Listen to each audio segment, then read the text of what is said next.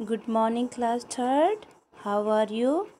Now your today your turn grammar English grammar. So open your grammar book and open your second chapter. बेटा आपका second chapter nouns क्या हो गया था हमने पढ़ा लिया था नाउन्स आपने पढ़ लिया था कि नाउन्स क्या होता है ये देखिए नाउन की डेफिनेशन हमने कर ली थी ये इसके दे पार्ट ऑफ़ स्पीच थे ये भी हम निकल लिए थे। Common and common nouns and proper nouns होते नाउन के टाइप्स होते हैं ये हम निकल लिए थे। इसमें हमको, हमने कॉमन नाउन और प्रॉपर नाउन पढ़े थे क्या क्या होते हैं कॉमन कॉमन नाउन और प्रॉपर नाउन क्या क्या होते हैं। आज हम इसकी एक्सरसाइज करेंगे। ये देखिए। A underline the common noun in the sentence each sentence has two common nouns one has been done for you. अब देखिए आपके लिए क्या है ये?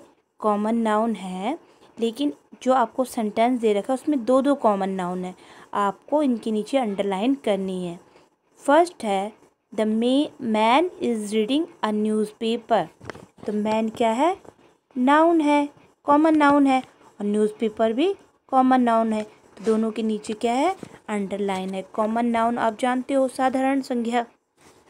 किसी विशेष का नाम होगा, उसे हम प्रॉपर या स्पेशल नाउन कहते हैं। अब ये एक्सरसाइज आपके लिए हो गई है। यहाँ से आप देखना शुरू करिए। ये मैंने लिख दी है। ये class third subject English grammar या आज की डेट है आपकी। यहाँ से देखिए आप। Underline the common noun in the sentence each sentence has two common noun one be has done for you. ये हमने पहले हमको दे रखा था, हमने कर लिया है। The man is reading a newspaper. यानी कि मैन और न्यूज़पेपर दोनों ही क्या है? कॉमन नाउन है। सेकंड है he goes to office by bus वो कैसे ऑफ़िस जाता है? बस से जाता है। तो ऑफ़िस भी हमारा क्या है? कॉमन नाउन है और बस भी हमारी कॉमन नाउन है। क्योंकि ऑफ़िस कोई भी हो सकता है और बस भी कोई भी हो सकती है। किसी का नाम यहाँ पे नहीं बताया गया। Third there is a tree beside the house घर के पास में क्या है? एक सॉरी पेड़ के पास ही एक घर है ये। तो यहाँ पे ट्री एंड हाउस दोनों क्या है? कॉमन नाउन है। ठीक है ना? ट्री भी बहुत सारे हो सकते हैं हाउस भी बहुत सारे हो सकते हैं। फोर्थ वाला है a women is standing on the gate at the gate तो वूमेन भी क्या है? कॉमन नाउन है, और गेट भी आपका क्या है? कॉमन नाउन है। फिफ्थ वाला है the car went quickly along the road बहुत तेज़ी से कार जा रही है रोड के ऊपर। तो कार भी कोई भी हो सकती है, किसी कार का नाम नहीं दे रखा है। रोड भी कोई भी हो सकती है, किसी भी रोड का नाम नहीं दे रखा है, यानी कि कॉमन है। आपके पास आपका जो सिक्स है, वो क्या है? We speak on the phone twice a week अब क्या कह रहा है ये? मैं फ़ोन में बात करता हूँ। तो फ़ोन भी हमारा क्या है? नाउन है नेमिंग वर्ड है। और वीक वीक भी हमारा कॉमन नाउन आएगा। यानी कि हमें वीक तो होता ही है कॉमन नाउन अगर संडे मंडे डे होता तो हमारा क्या हो जाता? स्पेशल तो यानी कि ये आपके क्या है? ये देखिए, ये आपके, जहाँ जहाँ आपके अंडर लाउन लाइन हो रखे हैं, वो आपके हैं कॉमन नाउन ओके एक सेंटेंस में दो दो कॉमन नाउन है। टर्न योर पेज यहाँ पे देखिए, अब ये वाला करेंगे हम। Underline the proper noun each sentence, replace it with another proper noun. One has been done for you देखो, इन्होंने हमको प्रॉपर नाउन दे रखा है स्पेशल नेम दे रखा है। हमको इसको चेंज करना है चेंज करके इसको दूसरे सेंटेंस में बदलना है। जैसे, Rekha is singing a song तो इन्होंने क्या कर दिया? रेखा की जगह रेखा क्या प्रॉपर नाउन था? तो उन्होंने रीमा कर दिया। Reema is singing a song ये भी मैंने आपके लिए बुक में लिख लिख लिए हैं। देखिए, यहाँ से देखिए। बी वाला है underline the proper noun in each sentence replace replace it with another proper noun one has been done for you ये पूरा है। तो इन्होंने पहले वाला कर लिया था, Rekha is a singing a song तो इन्होंने रेखा की जगह किसका नाम लिख दिया था? Reema is singing a song क्योंकि रेखा क्या है? प्रॉपर नाउन है। ऐसी बेटा माई सिस्टर नोज़ उर्दू। अब माई सिस्टर सिस्टर तो सभी होते हैं। तो सिस्टर हम चेंज नहीं करेंगे। सिस्टर क्या है? कॉमन नाउन है। लेकिन नोज़ उर्दू उर्दू की बात हो रही है, एक सब्जेक्ट की बात हो रही है तो माई सिस्टर तो ऐसे रहेगा नोज़ उर्दू की जगह हम लिख देंगे यहाँ पे इंग्लिश दूसरा सब्जेक्ट ठीक है? अब थर्ड वाला है I bought this watch from Mumbai इसने कह रहा है, मैंने ये घड़ी कहाँ से ली थी? मुंबई से। तो घड़ी तो कोई भी हो सकती है, किसी कंपनी का नाम नहीं है, किसी घड़ी का कोई नाम नहीं है, लेकिन यहाँ पे एक सिटी प्रॉपर नाउन बोला गया है मुंबई तो हमने मुंबई को चेंज करके दिल्ली कर दिया है। सेंटेंस देखिए, अब चेंज हो गया है। I bought this watch from the from Delhi okay अब देखिए फोर्थ वाला ही is working in Iran Iran दे रखा है, एक कंट्री का नाम दे रखा है। वो कहाँ काम करता है? ईरान में। तो हमने यहाँ पे क्या स्पेशल नाम है? ईरान इसी कंट्री का नाम। तो हमने क्या कर दिया? He is working in Japan हमने ईरान के बदले जापान कर दिया है। हमने कैसे प्रॉपर नाउन को कैसे दूसरे उसमें रिप्लेस कर रहे हैं? Now turn your page fifth वाला है the Taj Mahal is famous monument तो ताज महल क्या है? प्रॉपर नाउन है। ठीक है ना? तो हमने इस प्रॉपर नाउन को किसमें बदल दिया है? द रेड फोर्ट में, लाल किले में। The Red Fort is a famous monument six वाला है माई फ्रेंड सेलिब्रेट क्रिसमस मेरी फ्रेंड ने क्या सेलिब्रेट किया? क्रिसमस सेलिब्रेट किया। तो हम माई फ्रेंड सेलिब्रेट होली। हमने क्रिसमस जो प्रॉपर नाउन था, उसको होली में चेंज कर दिया है। सेवन वाला है he did not go to school to on Tuesday वो इस ट्यूसडे को स्कूल नहीं गया था। तो हमने लिखा he did not go to school on Monday यानी कि जो ट्यूसडे था, उसको चेंज करके उसकी जगह हमने मंडे कर दिया। ट्यूसडे क्या है? प्रॉपर नाउन है। तो हमने मंडे कर दिया है।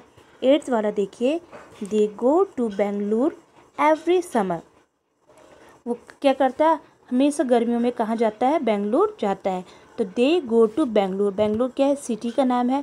तो हमने यहाँ पे कर दिया है मुंबई।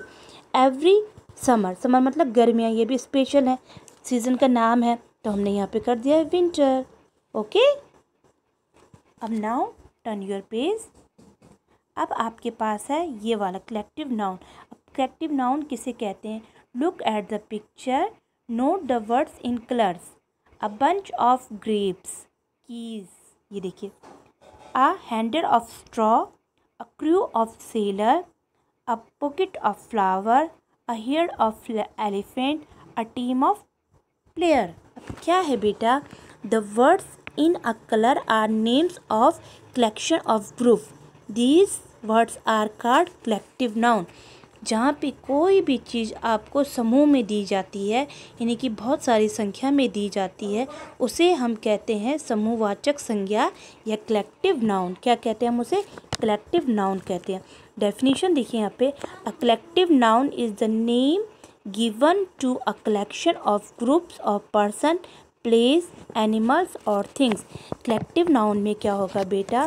जहाँ पे खूब सारे क्या होंगे, या फिर पर्सन होंगे, व्यक्ति होंगे, कोई जगह होगी, खूब सारी जगहों के नाम होंगे, खूब सारे जानवर होंगे, या खूब सारी चीज़ें होंगी, उनको हम कहते हैं collective noun collection of noun अब टेन योर पेज ये देखिए look at this picture and complete the sentence one has been done for you आपको यहाँ पे पिक्चर दी गई है। पिक्चर की सहायता से आपने सेंटेंस को कंप्लीट करना है। आप फ़र्स्ट वाला कंप्लीट हो चुका है आपके लिए ऑलरेडी अब इसे देखिए। ये देखिए। अ ग्रुप ऑफ़ बीज बीज जो मक्खी होती हैं, मधुमक्खी होती हैं is the called a swarm of bees जो बीज होती मक्खियों का झुंड होता है, उसे कहते हैं स्वार्म और बीज का बीज मतलब उसे क्या कहते हैं? झुंड को, मक्खियों के झुंड को क्या कहते हैं? स्वार्म कहते हैं। A group of ants picture किसके? आंट्स की. A group of ant is called an army of ants ये देखिए। A number of ship number of ships खूब सारे जो शिप्स होते हैं sailing together is called fleet of ship उनको क्या कहते हैं? फेल्ट ऑफ़ शिप कहते हैं। A group of similar fishes is called school of fishes जो खूब सारी फ़िश होती हैं, उनको कहते हैं स्कूल झुंड में। उनको कहते हैं स्कूल फिशों फिशेज इनका कलेक्टिव नाउन है। A group of student standing together is called a class जो बच्चे एक साथ पढ़ते हैं, एक ही क्लास में तो उसको कहते हैं क्लास क्या बन जाती है वो? Class a number of stairs is called a flight of stairs जो बहुत सारी संख्याओं में क्या होती हैं? सीढ़ियाँ होती हैं। उन्हें क्या कहते हैं? फ़्लाइट ऑफ़ स्टीयर्स ये इनकी कलेक्टिव नाउन है बेटा, इनको कैसे करके बोलते हैं? A group of musician singing together called choir अब जो झुंड होता है म्यूजिशियन का, उसे कहते हैं क्वायर कहते हैं इसको, यानी कि झुंड, जो एक समूह में गाते हैं, गायक बोलेंगे जिन्हें हम, जो मतलब एक साथ बोलते हैं, ठीक है? A group of birds is called a flock of birds चिड़ियों का झुंड क्या कहलाता है? चिड़ियों का जो खूब सारी चिड़ियाँ होती हैं, उन्हें हम झुंड में कहते हैं फ्लॉक। Flock of birds. ये कलेक्टिव नाउन है। क्या है ये आपके कलेक्टिव नाउन है? अब देखिए। A group of dogs is called a pack जो बहुत सारे डॉग्स क्या होते हैं ग्रुप्स में होते हैं, उन्हें कहते हैं pack pack of dogs a number of books arrange together is called a book of is called stock of books क्या कहते हैं इसे? स्टॉक ऑफ़ बुक्स जो